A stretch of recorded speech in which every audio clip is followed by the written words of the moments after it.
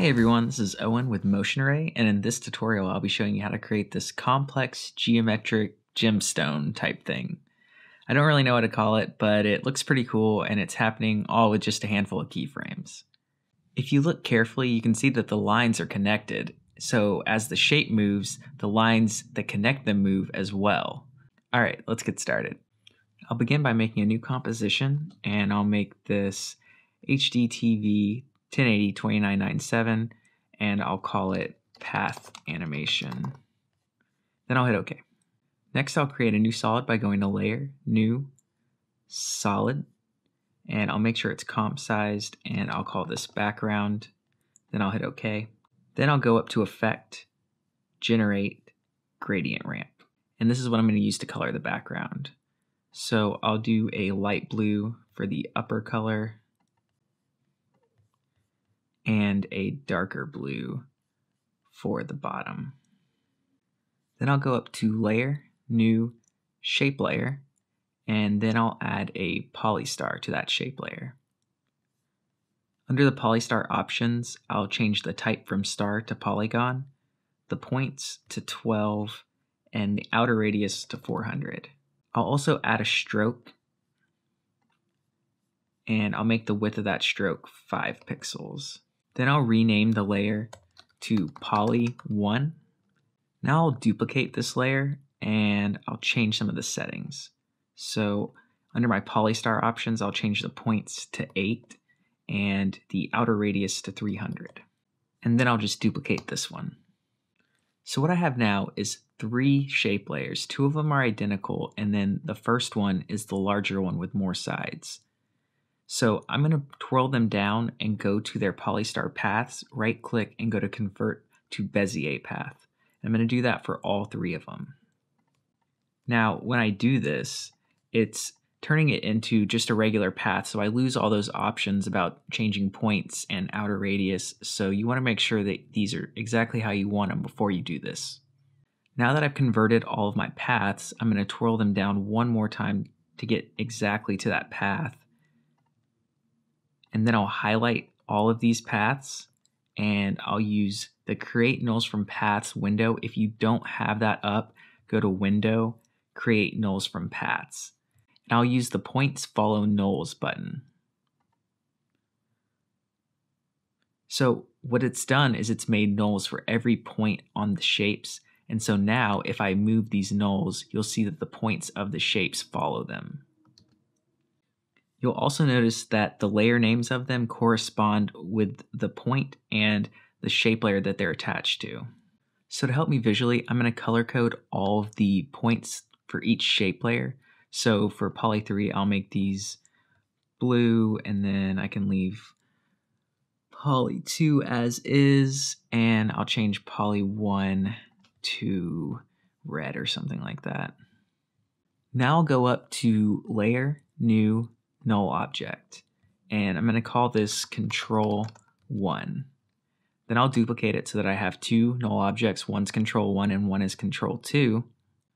And I'm going to parent all of the poly 1 points to control 1 and all of the poly 2 points to control 2.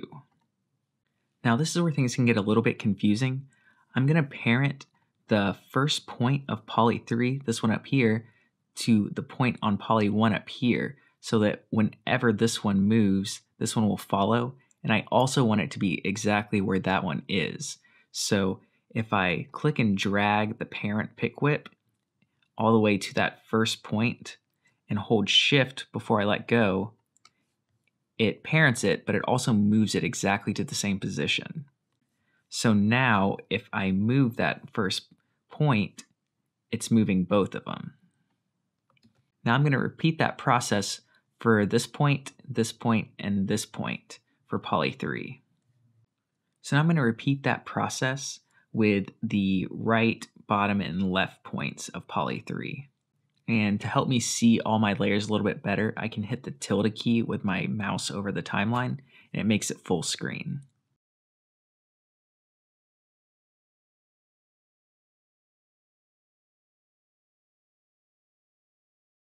So there you go. Those are all parented now. It takes a little bit of guess and check, but I've done this a few times, so I kind of knew which ones go to which. So if you get them wrong the first time, it'll be obvious, and then you can just fix them. The next step is parenting the remaining poly 3 points that don't have parents to their poly 2 counterparts. So, for instance, this poly 3 1 1 will need to go to the poly 2 1 1. And I'll do that for all the remaining points that don't have parents.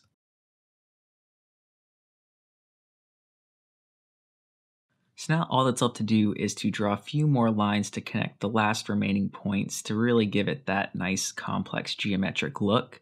So I'll make sure that no layers are selected and I'll grab my pen tool and I'll go ahead and start drawing the kind of lines I'm looking for. So that'll connect those, but I don't want the fill. So I'll go into my shape layer that I've just created and I'll just go ahead and pull this path out of that shape and the stroke out. And then I'll just get rid of that group that it made called shape one. And so that just leaves me with my path and the stroke. So then I'll select my path and I'll duplicate it. I'll twirl it down and highlight the path itself, and then I can just move it over here and double click to get the transform properties, and I can just sort of rotate it into place. And in the end, we're going to parent these points anyway, so it doesn't have to be perfect. So I'll repeat that process till I have four that all sort of line up with where they're meant to be. So again, it's not perfect right now, but we're going to be parenting these points to the points on the original polygons, so it's not really important that they all match up right now. I'll go ahead and rename the shape layer extra, and then I'll highlight all these paths so that I can use the points follow nulls button again. So now I've got nulls for all these extra points that I've just drawn. And so it's just going to be the same process of parenting them to the ones that they kind of match up to. So I'll go ahead and select all of them and I'll color code these as well. And then I'll drag them down here to get me a little bit closer to the stuff I'm going to be parenting them to.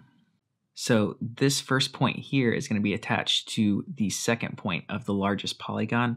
So I'll do that shift parent trick again.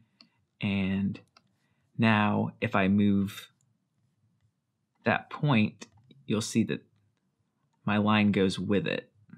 And so again, I'm just going to be repeating this process for all of the points that I just made.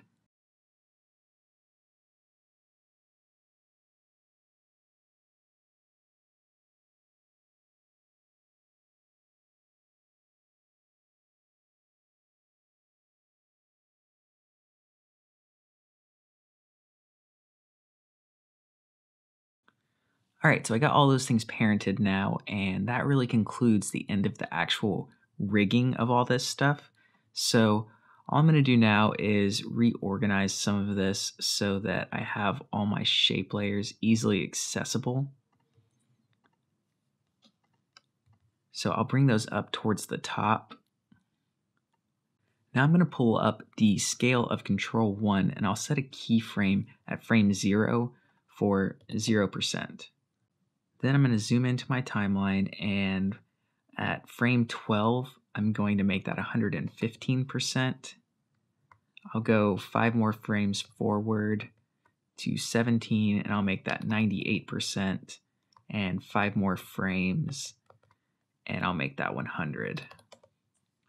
I'll highlight these last three keyframes and right click and go to keyframe assistant easy ease and for this second keyframe, I'll right click again and go to keyframe velocity and set that incoming velocity influence to 80%. Then I'll move down my timeline to about two seconds and I'll set another keyframe for 100%. I'll move five frames forward again and I'll set this to 115 and then I'll go about 20 frames and I'll set this to negative 115. I'll go five more frames forward to make that negative 98 and five more frames and set that to negative 100. Again, I'll just make sure these are standard easy ease Then I'll right click on this second keyframe and go to keyframe velocity, set the incoming influence to 50% and the outgoing to 60. And for this third keyframe over here, I'm going to go to keyframe velocity and set that incoming influence to 80%. Now, all these extra keyframes are just to animate a little bit of overshoot and then a little bit of bounce, just to give this animation a bit more life. So I'll highlight all my keyframes by clicking on the word scale, and I'll hit Command C to copy, and then I'll bring my playhead over to frame zero and highlight the Control 2 null and then I'll paste with Command V. So that'll paste all the keyframes that I just made on the scale onto this second control. Then what I'm going to do is offset this layer by about three frames just to give us some lag in that animation. For the second set of keyframes, I'm actually going to move these in front of control ones. So maybe just by a frame or two. And I'll bring my work area in so that I can preview this.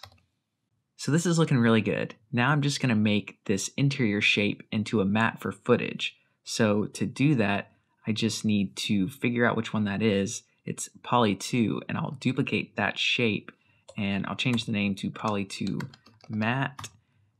And then I'll go up to the add menu and add a fill so that there's something that the layer below it can use as a matte. Then I'll go over to my project panel and I've got a few images in here that I can use. So I'll bring those, one of those in and I'll scale it down. And then I'll set its track matte to alpha matte so that it's looking at that polygon matte. And you'll see right there, now it's matted to that shape. That's looking really good, but I'm noticing now that if I go through my timeline here, you'll see that the lines start to overlap over the footage, and that just doesn't really look that good. What's happening is that the interior shape is opening up first instead of the outer shape. And that's because we set these keyframes to start before the outer one, which is what we want for closing, but it's not what we want for opening back up. So you can see in the beginning here that the outer shape opens first and then the inner shape. So to do that, we're just gonna have to do a little bit of keyframing in here. I'll go through my timeline and look at my values of scale over here. And I'll look and see that it goes from 19 to negative 18 on the very next frame. So I'll set a keyframe here for the value that it's already at, 19, and I'll make sure it's linear by command clicking it. Then I'll scrub through my playhead and I'll set a keyframe for zero here. And I'll make sure that they're both linear again. And I'm looking at my values for control one as well. So I want to make sure that these values are higher numbers, even though they're negative. So it would actually be a lower number than the ones for control two so that it's bigger than control 2. And so by doing that, I can get it to close first, but then open second. Yeah, and that's looking good. Now, I want to use this closing as a transition to another piece of footage. So with my scaled at zero right here, what I can do is I can split this matte layer by going to Edit, split layer or Command Shift D. And so then I can just bring in my other piece of footage and I can set that to alpha matte. So when it opens back up, it's using that other piece of footage and I just need to scale that probably.